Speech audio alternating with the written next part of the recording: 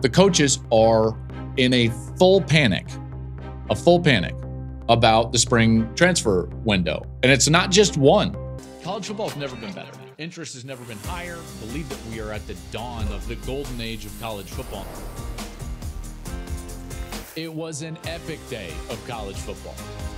It was one of those days where you fall in love with the sport all over again.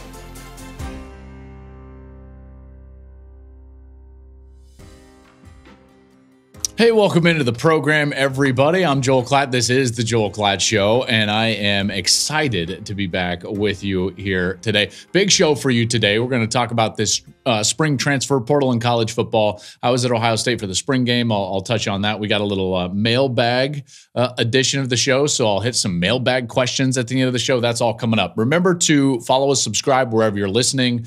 Uh, make sure to do that. Make sure to subscribe on the YouTube channel. Remember, we've got exclusives out there, including our drop from last week, our exclusive on YouTube, which is our breakdown of my top six quarterbacks in the NFL draft. I've got video there, so go check that out. Leave comments on YouTube. I love to jump in there. Uh, and then follow us on social media at Joel Klatt Show. Wherever you like to social, we are there, and uh, all of our content is there as well. Uh, let's jump into it real quick because we've got a lot to cover today. We've got a lot going on, and I've got a new lid here in honor of the Masters. That's right. This is my new Masters hat right here. Um, um, I I will tell you where to get it at the end of the show. It is a um, uh, a hat that you can go get yourselves. It's not like the Rose Bowl hat. It's not a, a full cut. You can go get this one. I'll tell you where at the end of the show. The spring transfer portal opens on Tuesday in college football. Tuesday, April 16th, this thing uh, kicks off and is open for 15 days. And at the end of this, April 30th, that's kind of the point of demarcation. And Brady and, and Coach Meyer and I were talking about it during the course of Ohio State's spring game last week.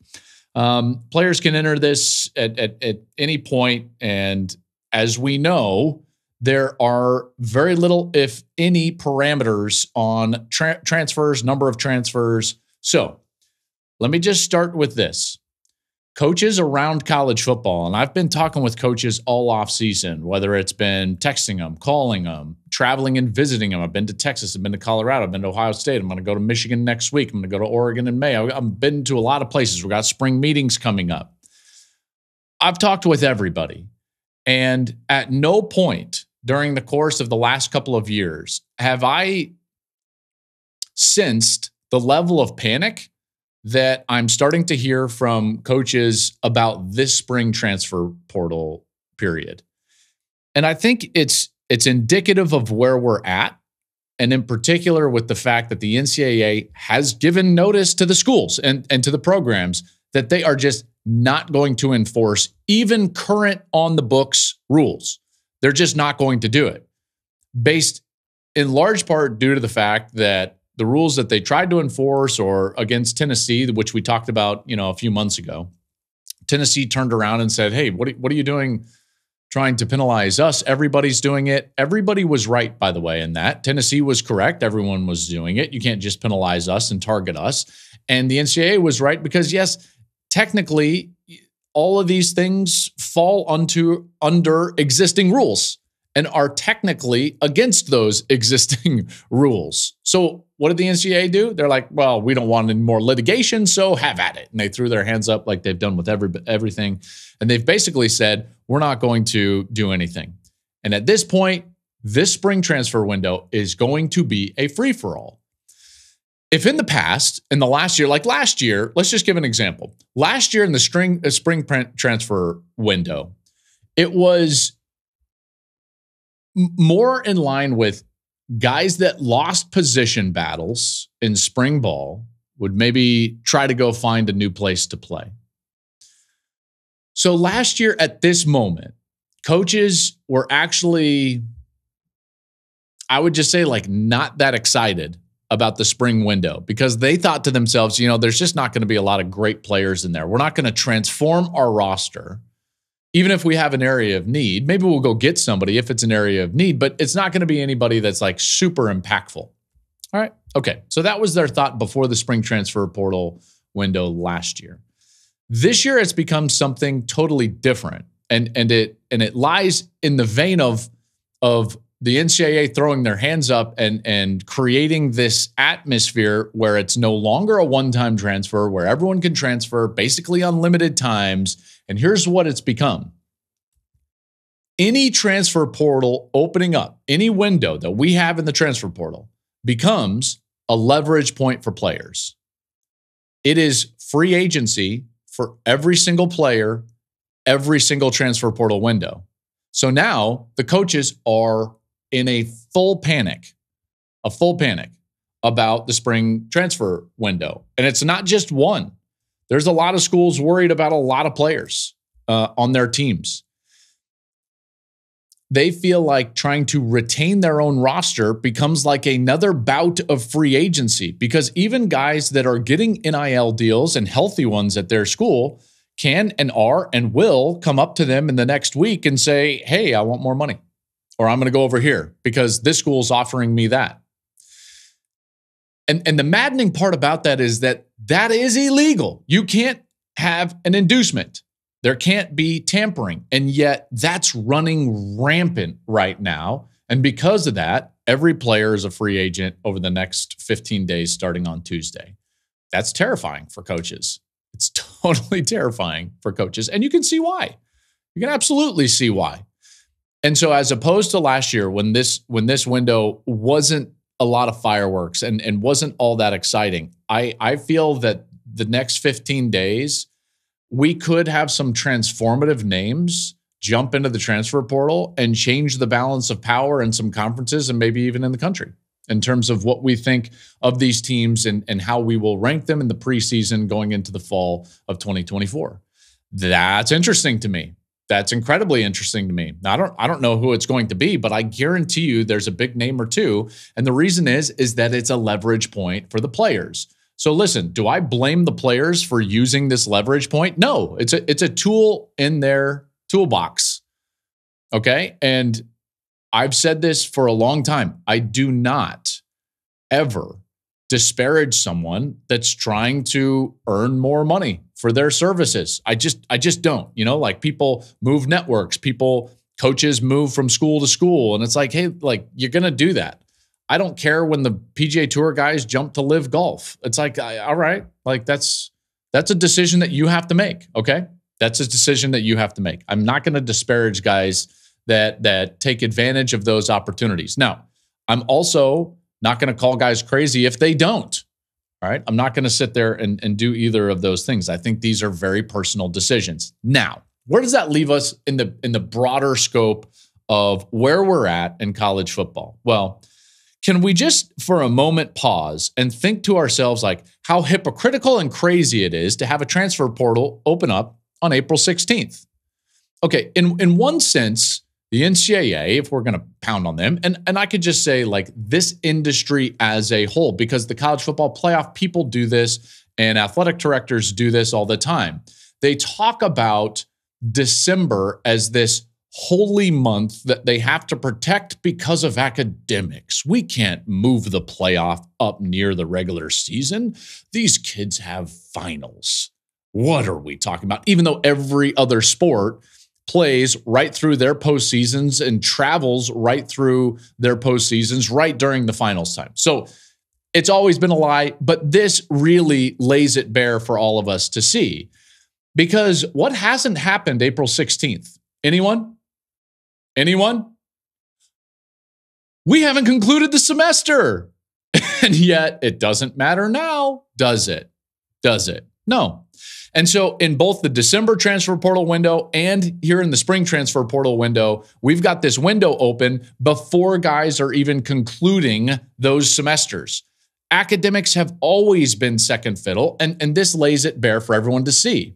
All right. So April 16th, that's that's a that's a random spot because what we need to be done by April 30th. Well, guess what's not also finished by April 16th across the country? Spring football. So here we are again for the second time. We have two transfer portal windows, and in both of the windows, we open up the transfer portal while teams are still trying to practice. What are we doing? That is crazy. That is crazy. The portal should not open up until everybody's spring concludes. Now, if you want to put a point of demarcation, and I understand every school kind of chooses when they play spring football. So are some of these programs to blame if their spring ball bleeds over the, the April 16th transfer portal window opening up? Yeah, sure. You could blame those schools. But why not get on the same page? What are we? One, do we need 15 days? No. Does it need to be open April 16th? No. We've got some teams like Michigan, Notre Dame, Oklahoma, Texas, Oregon, USC, Florida State haven't even finished spring ball yet.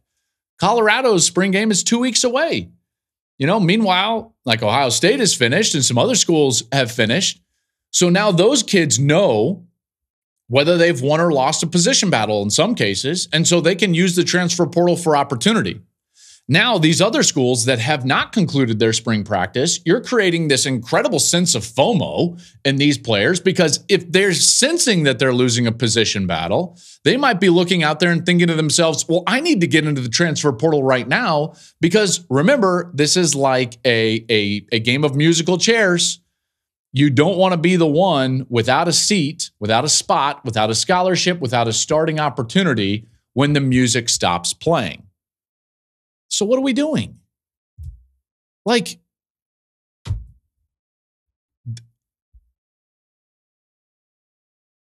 the system sucks. You've got to change it and and be somebody be smarter than what's going on. This has got to be fixed. It's not good for the players. They don't know what seats are opening up. They can't be fully committed to their teams because they're thinking about a transfer potentially so that they can have an opportunity to play. It sucks for the coaches because they've got to recruit every one of their players twice a year and try to sign incoming high school recruits and try to recruit guys out of the transfer portal window. This is unsustainable. And in so many cases, we do it to ourselves. Okay, so let's stop complaining, Joel, and let's start getting with the, the program of how do we fix this? All right, well, I think it's pretty simple. The first thing I would do is that I would not have an open transfer portal window when teams are actively playing, whether that's in the fall transfer portal window or in the spring transfer portal window. I, that's a, a, a very easy fix. That's just in the structure of how we do things. That's going to make things a lot better for players and coaches. Now let's get to a fix that is more meaningful and structural in terms of what we're actually doing with NIL and the transfer window. Okay. We can't have free agency to this point twice a year with every player. It cannot be a leverage point for every single player every every single time. See, for years, for years, listen, when I played, was I taken advantage of? Yes. Have players historically been taken advantage of? Absolutely. Nobody would say that they haven't been. Okay, so the, the, the pendulum was all the way on this side, right? And then in the blink of an eye, everyone was like, well, we got to start swinging the pendulum back. And do, do we swing it back to the middle? Nope. We slammed it all the way to the other side. All right. And all I'm saying is that we have to be adults and slowly bring that right back to the middle. Okay. There needs to be a negotiation. There needs to be some pain on both sides, and there needs to be some gain on both sides. I know it's a it's a dumb it's a dumb pun. When I wrote it down, I was like, "Am I really going to see say pain and gain on both sides?" And I did it. I did it just for you. All right, and I hope you like it. What I'm talking about here is a collectively bargained agreement. That's what has to happen. We have got to get to this point and we've got to get to it quickly. All right. Now, now some have argued, and I've even brought up this term about employment, but the problem with it with employment is, is that you go into about a million rabbit holes really quickly. Because remember, every single state has different employment legal issues. And so we would be in the same boat that we are now where some states have a name, image, and likeness law, and it's a little bit different than other states. And so we we are trying to compete in the same sport, and yet everyone's doing it 50 different ways. Well, it would be similar with employment. So I, I don't want employment. I want these players to essentially work as independent contractors. I want them to be able to enter under under enter into, excuse me, contract And I want that contract to be governed by a collectively bargained agreement. This demands a players association. I think the players should be unionized. Now, some people hate that world word. And to be honest, not my favorite. But an association would allow you to collectively bargain with the players. What would this achieve? A lot of things. I want to talk about three specifically that you could you could collectively bargain these issues that would make the sport much more sustainable and it would make life better for both the players and the schools, the enterprise, if you want to call it that. All right, let's go. Let's walk through them. What would a collectively uh, bargained agreement achieve? Well, let's start with the fact that I would limit transfers. All right. And the way that you can limit transfers is threefold. Threefold. Number one, I would establish a revenue share.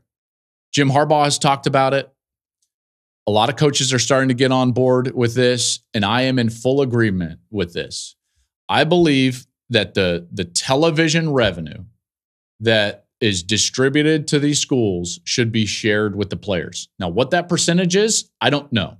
Okay. I'm not sitting at the table and negotiating the deal, but I do know that a revenue share is needed. And it's needed for, for two reasons. Because, well, really three competitive balance. Not every school has the opportunity to raise the funds needed in their collective in order to pay the players out of the collective via the boosters. All right. And the other things that this would do is the players would get a new budget and every school would have that budget and they would know what the budget is. So there would be a, a, a more it would not be as as secretive in terms of what are the funds available for every school, every coach, and every player.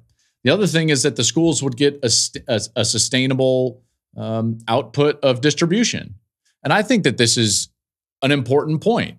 See, right now, boosters, which have traditionally given to the athletic department to to fund athletic department endeavors, including things like you know training table and you know weight room and facilities and all these different things. Well now all of that money is being funneled just to collectives. Well that's going to hurt these athletic departments and they're not going to be able to provide the services to the players that they would normally provide because they're trying to take their budget and move it to the players well in a lot of ways if we just cut into the television revenue and shared that with the players, now that booster money could still go to the school. So now it's more sustainable. All right. You're not having to go out there and raise some unspecified number every single year. We would know what it is and you could start to allocate it to players. So that's number one. Number two, you could negotiate with the players and limit the mobility. Okay. And and this is this is this is a big one.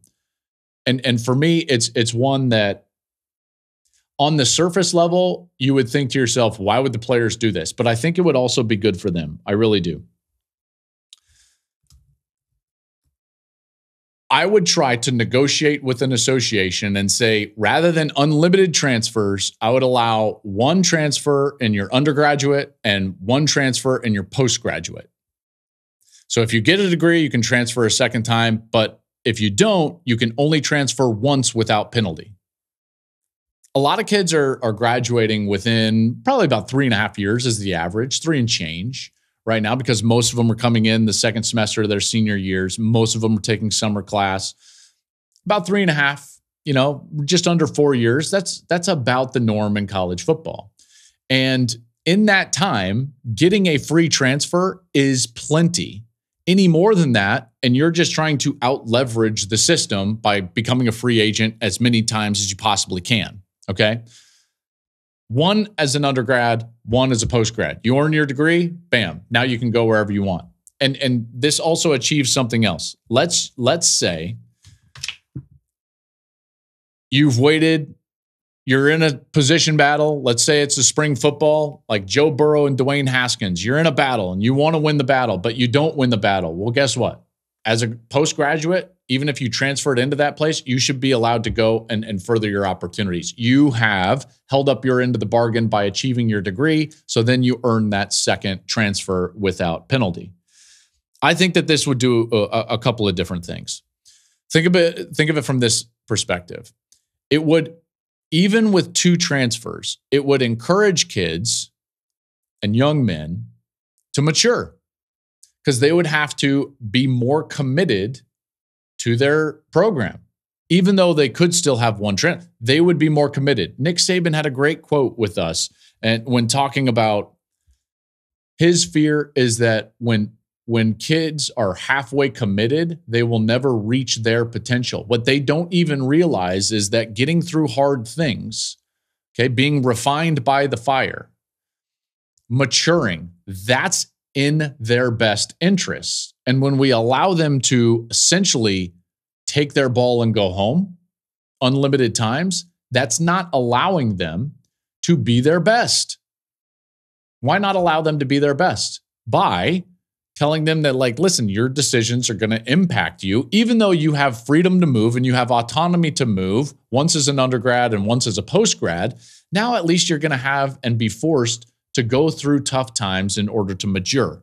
On the on the flip side, for the enterprise, for the coach, for the program, now it's not every single player that would be eligible to transfer in every single transfer window.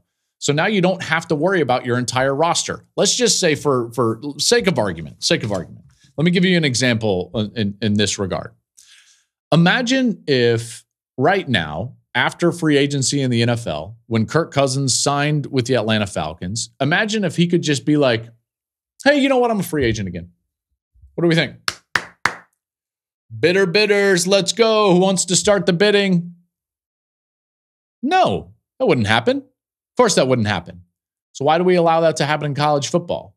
We should limit that. We should limit that, just like they do through a collectively bargained agreement, through a contract, through all of these things that we we have mechanisms to fix and encourage a, a brighter future for college football, and we need to take those and, and implement those. The last thing that a collectively bargained agreement would achieve, or one thing that I would negotiate in, is that third party representation would be forced to register with the association.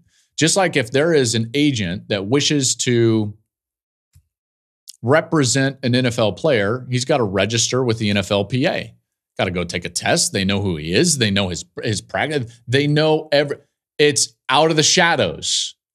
Okay, we desperately need that in college football because we have far too many young men and families that are being taken advantage of by third party representation that doesn't know what they're doing, or they're taking advantage of the f- families and those players by working in pay structures in perpetuity.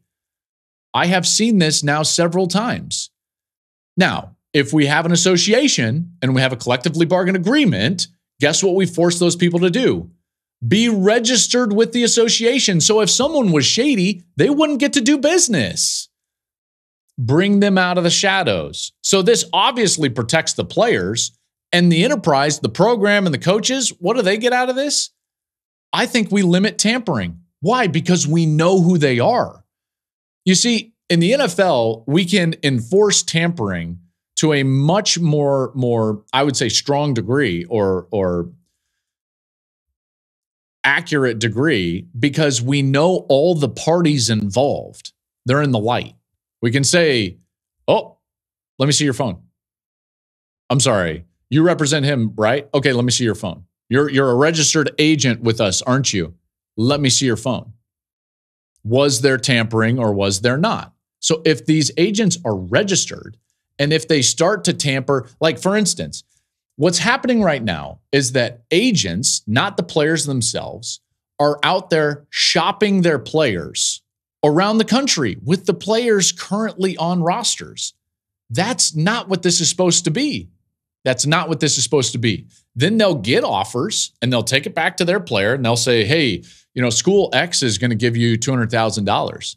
And so now player goes to his coach and says, hey, coach, like, I, I'm going to get a $200,000 offer. And the coach is like, what do you mean? From who? Well, I do. Why? Why are we playing that game? We have tools to fix this. So we should fix this.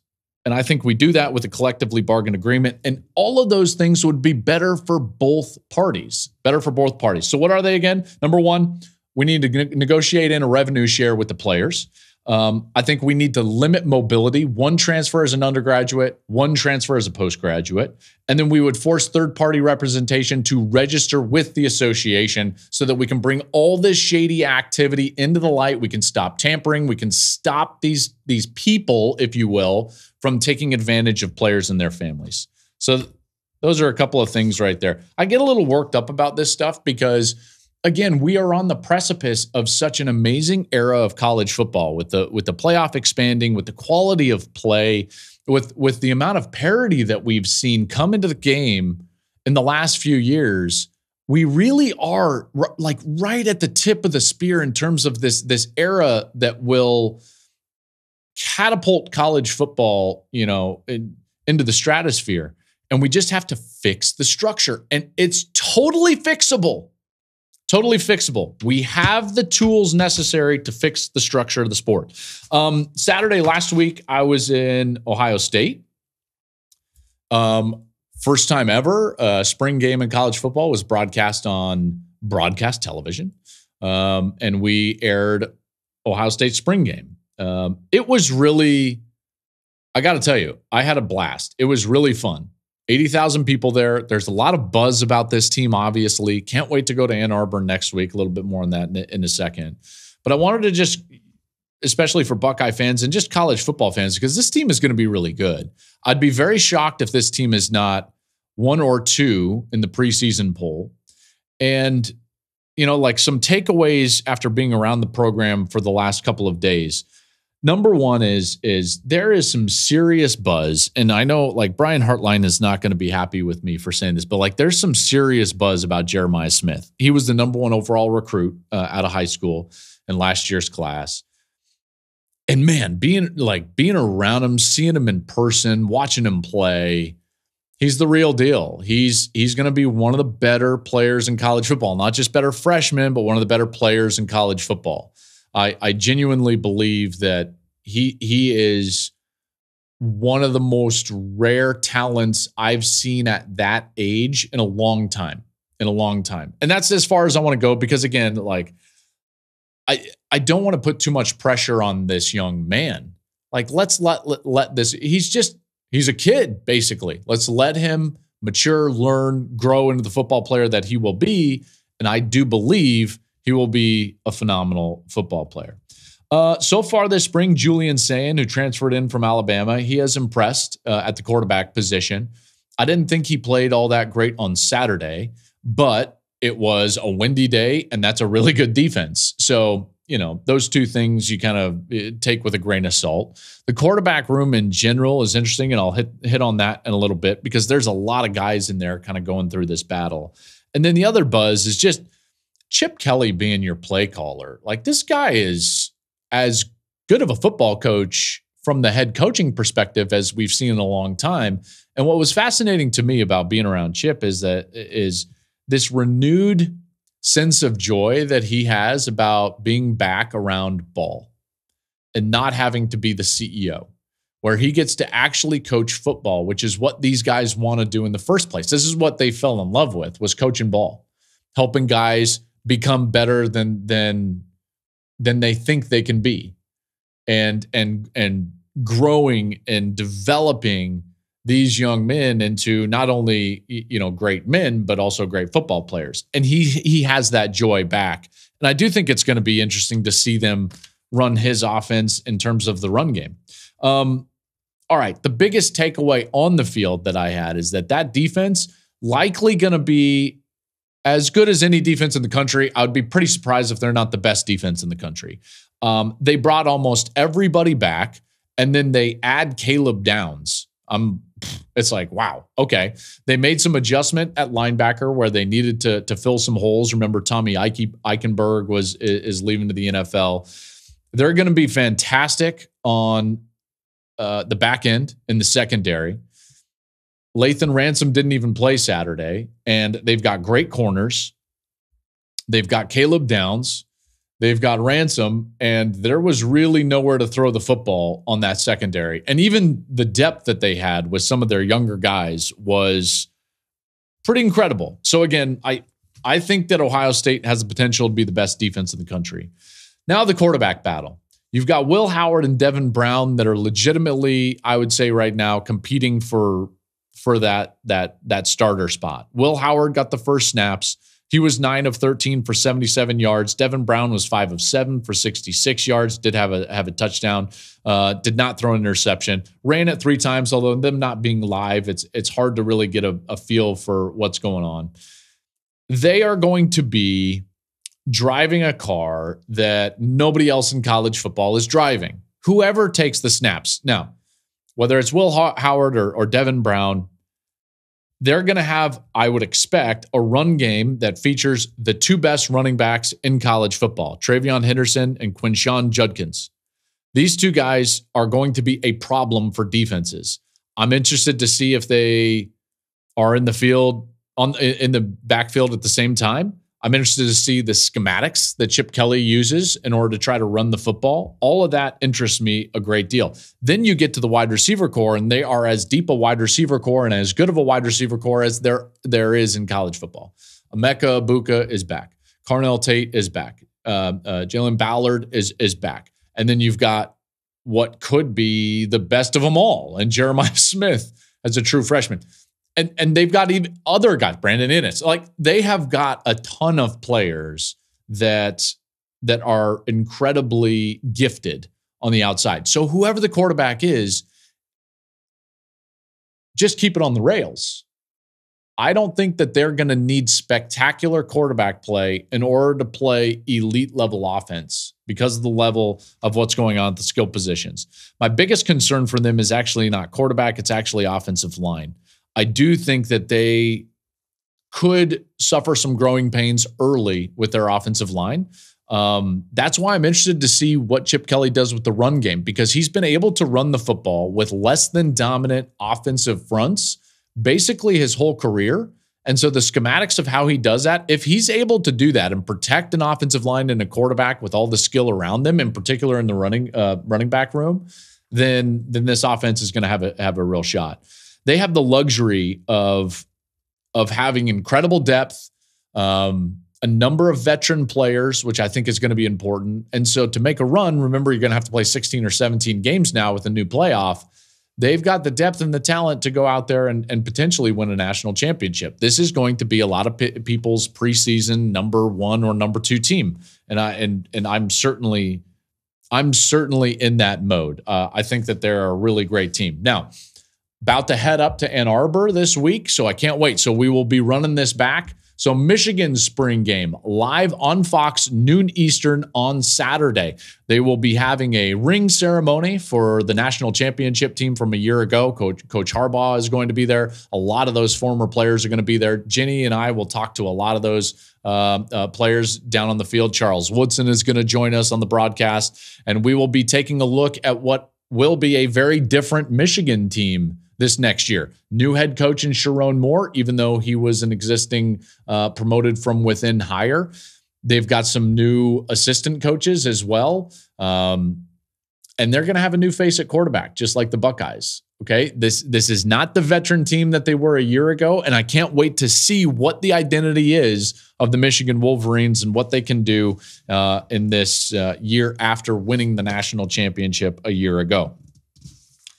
Let's get to some mailbag. Remember, anybody can write a mailbag question about any topic that you want. All you got to do is send it in to the Joel Klatt Show mailbag at gmail.com. And I've got three here today that I wanted to get to. And uh, yeah, I'm excited for this. So let's get into it. One, uh, the first one says, "Hello, Joel, and your fantastic team. I am writing to ask if you can provide advice to a young father who's about to add baby number two this spring. Congratulations! What was the biggest change in your life when you and your wife went from one to two kids? Any and all advice is appreciated. P.S. Love the show and advice you give. You can tell it's genuine, which is what all of us need in 2024. And all we can control is our own effort. Yes, that's exactly right. Hunter W. Uh, first of all, thank you. And uh, here's my best advice buckle up, Hunter, because what you thought was life changing with baby number two, or excuse me, number one, buckle up. Buckle up. Because here's what you don't realize yet. And Hunter, it sounds like you're a great father because you're you're seeking out advice. You're concerned about being a great father. Step 1 to being a great father, be concerned about being a great father. And Hunter, you clearly are. So kudos to you. Kudos to you. I I respect that. Now, baby 1 it was awesome, right? And it was probably really hard. You're like, "Boy, you talk about a change." Yes, Hunter, your lifestyle changes with baby number 1. But what you don't realize is that you were more of a spectator to that change than you realize. And you're about to find out what it means to actually go in the game. You see, as much as we want to support our wives when they have children, we are mostly spectators. Even if you get a, a, a, bottle of formula or even, you know, some of the if your wife pumps her, her breast milk and, and you're and you're doing midnight feedings, you think like, man, this is hard. The woman is sustaining the infant's life. It is a totally different role. And we are there to support, in large part, our wives when that happens. Okay. Now, yes, you are loving that child and you have a, a, vital role in, in the infancy stage for your children, but it's a different role. It's an it's not a sustaining role. All right. That's that's what your wife is about to dive right back into is the sustaining role. She is about to have an infant that can't do anything and will rely completely on her their sustenance is totally dependent on the mom. And guess what? Now there's another human involved. And you're in. So listen, this is what's so great. I will always remember when we Henry is our oldest, and when we had Samuel, our, our middle child now, but when we, when we had Sam, I got to spend so much time with Henry. I no longer had my own time. I was no longer a spectator. If I wasn't at work, I was in it. Because guess what? Sarah was with Sam. You know, all of us know that the infant stage is very hard. So I was with Henry and I was taking care of Henry. I, I did Henry's baths. I read him all of his bedtime stories. I did all of those things. I, I woke up and cooked him his, his breakfast. I would get him his lunch if I was home. I would help him with dinner. I would clean him up. I would do all these things. Why? Because there's an infant attached to Sarah. She can't do those things. So you are in. You're going to go from spectator mode or even teammate mode to in the game. So buckle up, Hunter. And guess what? You're going to do great, man. You're going to do great. That's my advice. All right, Quinn S writes into the Joel Klatt Show mailbag. He says, Dear Joel, I love listening to the show and watching Big Noon Saturdays. Nice. Thank you, Quinn. I appreciate that. He says, I am a young D3 football coach and uh, with aspirations to coach Division One football. What advice do you have for a young college football coach to maximize their career and player success. Man, I love this one. This is really good. And you know what? I, I do think I think that the advice that I'm gonna give, um, one part of this is gonna apply to everybody out there, not just coaches. And then the other part is gonna be very specific to coaches. Okay. Okay, so the first one is network. Network, network, network. And that's for all of us all the time treat people the right way, and network. Now, here's some advice when you're networking. And this this especially is true, Quinn, in the uh, football coach world. Okay, culture, community, whatever you want to call it, is as long as you are not taking advantage of people's time, as long as they don't feel like you're trying to shortcut or steal or fast track ways to success. And as long as you are humble and genuinely want to learn, most people will help you. And the other thing I would say is like, if you don't have an ego, you see what happens in the coaching world. And, and by the way, if, if you want to tie this to, to any business venture. If you're a young person in any business whatsoever, in any career path, I think that this applies to you. One, people hire people. So, in order to move up, in order to get new opportunities, in order to get new jobs, you're going to have to have the right relationships. In order to have the right relationships, you're going to have to have to network. Okay, so you, you've got to do that. But nobody wants the person that when people let's let's just put it like this if someone contacts me and wants something from me and and I can tell all they want to do is climb the ladder or all they want to do is take advantage of me or all they want to do is move I'm less likely to help them. But if they're humble and I think that they just want to learn I'm very likely to help them. And it's the same with coaches. If you don't have an ego and and you you call coaches around the country they will help you and you will learn and you will grow. Now the next one will be more of, of specific advice to a coach, and that is at all times, coach with information and not volume. I think it's it's very prevalent in coaching circles to think that you've just got to shout all the time and say things like let's go and yell things like finish. That's not information. Okay? I believe that humans react to information, not volume. So, communicate the why.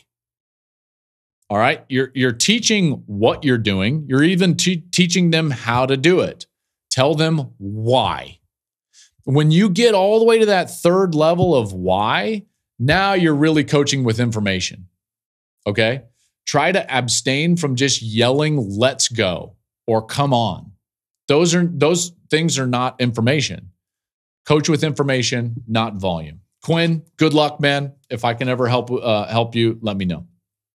Last one. Patrick d writes in. Says hey joel big fan of the show. Dan orlovsky was on the pat mcafee show. That's right he was. He goes on there all the time. And told a story about how you and he were in the lions training camp together which yeah, that's true. Uh, Dan and I were teammates for a short time. You guys went to the baseball field together after practices and you cooked him. Oh my gosh. I, I don't realize he told that story. What do you remember about that day? And was it as bad, bad for Dan as he said it was? Oh, wow. Patrick, um, let me just tell you my version. I haven't heard that Dan went on Pat's show and told this story. Um, first of all, yes, in 2006, I was in training camp with the Detroit Lions. Jon Kitna was the kind of the starting quarterback. Josh McCown was in that quarterback room, Dan Orlovsky, and, and myself. Um, it was a great time. And, and every one of those guys was very classy, professional, awesome dudes. And so I remember that camp fondly. And I remember this day if it's if it's the same story. So here's here's the story. I well, as you know, I was a minor league baseball player. Okay. And then I went back to football and then I played at Colorado. And so at this point in 2006, I am four four years basically removed from playing minor league baseball. And I got right you know, like some some high A, some things like that. Like nothing to write home about. I was a very good baseball player, but didn't work out for me. So Dan starts running his mouth in training camp about how good of a baseball player he was and how for sure he could have been a minor league baseball player, but he wanted to focus on football. And I just was kind of laughing and I was like, eh, you know, like, no, like you don't understand. You don't understand. Everyone thinks that they can play another sport, but no, like you, you, you can't. And I know that because I did it. I, I played it, right? I know what it takes. I know how hard we all worked and I know what it looked like. I saw it right up close and personal. Heck, I hit second behind Rickey Henderson for a full week in spring training in 2001. Two. Was it two? It was 2002. Anyways, like I've seen it up close and personal. So Dan's running his mouth. Oh man, I could I could throw a ball right past you. I could I, I could strike you out for sure. He's and then he's like, I'm I'm six four, and he was he was running his mouth. And so finally, it wasn't even me that get, gets sick of it. It's Kitna, Jon Kitna, who's the best. Jon Kitna is one of the classiest, best individuals I've ever been around in my life. I love Jon Kitna. And Jon finally like takes my side and he was just like, Dan, would you shut up? There is no way that you could strike Joel out or even throw a pitch by him. And I'm like, that's accurate. there's no way he could do that. And he he was like, nope, for sure I could. However much you want to bet on it. and so Jon, he's like, prove it, done, let's go. And he's like, get in the car. And so we left the facility. We we went and got baseball bats. I can't even remember from where, maybe Jon's house or something, and baseballs. And we drove to the local high school. This is during camp, during training camp. And we go to the local high school, and Dan's got his football cleats on, and, and I'm worried about his arm. I'm like, he's a quarterback. We're all trying to make the team. You know, they thought highly of him in the organization, and I'm like worried about like I don't want him to try to overthrow and throw out his arm. But sure enough, he starts loosening up and like getting really loose. And he's he's like in a lather because he's like, oh, I'm for sure gonna throw it right past Klatt. And in the back of my mind, I'm like, I don't care if I'm four years removed or not. Like, this is, he doesn't understand. I can hit a 98 mile an hour fastball. The hardest he's to throw is 90 or 91 at most, which is like batting practice. And so, sure enough, I'm like, okay, are you ready? And I dig in. And then, just as like a, a, a slight at the end, I was like, where do you want it? And now he's really pissed. He's like, oh, whatever, man. Hit it to right field. I'm right handed. And so I'm like, okay, fine. And he rears back and he, I mean, I can see the veins. He's like, and he throws this ball as hard as he can and I hit it basically off the right field fence. I think it one hopped the wire. Like we thought it might go out. Just wow, right to right field. And Kitna is on the side, be like, yeah. Needless to say, uh, Dan was humbled. Oh man, I love you, Dan. I can't believe you told that story on on McAfee's show. That's great. Um, all right. Saturday, Michigan spring game, noon on Fox. Can't wait for that. Next Monday, make sure to tune into the program. My final mock draft as we are getting set because remember, that's draft week. So my final mock draft is coming next Monday. Tune in for that. Um, and and that's going to be a good one. I'm going to have all my my last minute information. So my best mock draft will be my last mock draft, and that drops on Monday. As always, thank you so much for listening to the program. Make sure to follow us on all the socials, YouTube, and wherever you're listening to this podcast. We will see you next Monday.